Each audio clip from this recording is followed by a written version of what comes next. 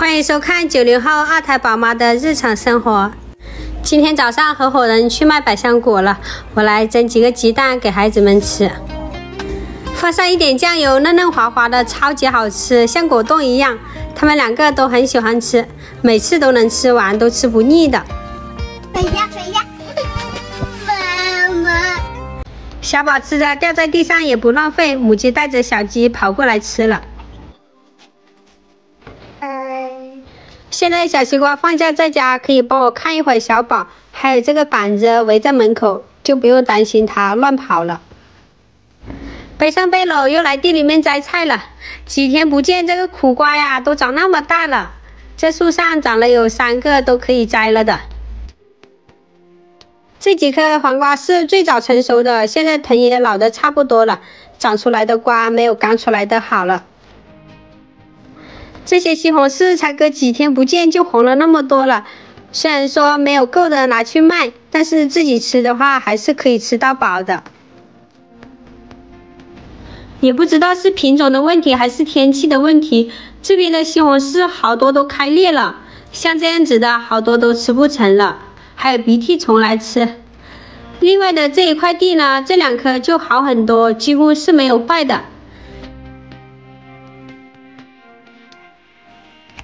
在网上买的白茄子苗，这几天下雨长得很好，一颗都可以长那么大了，结了很多的白茄子。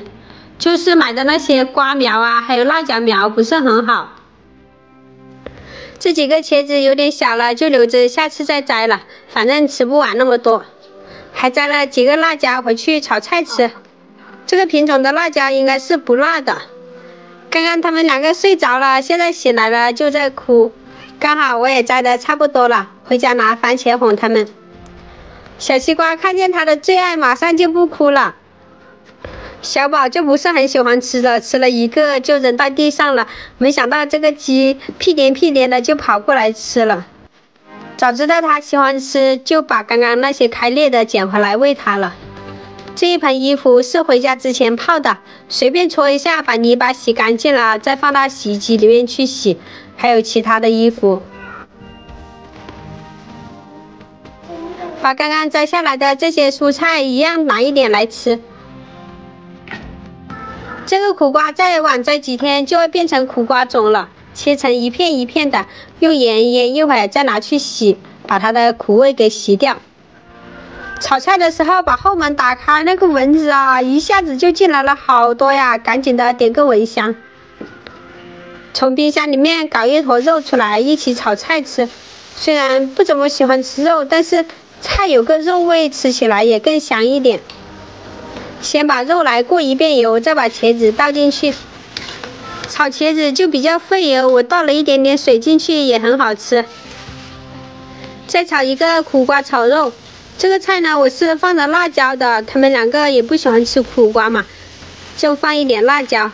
还放了一点家庭必备的小调料就可以了，还煮了一个紫菜蛋花汤，还有个凉拌茄子。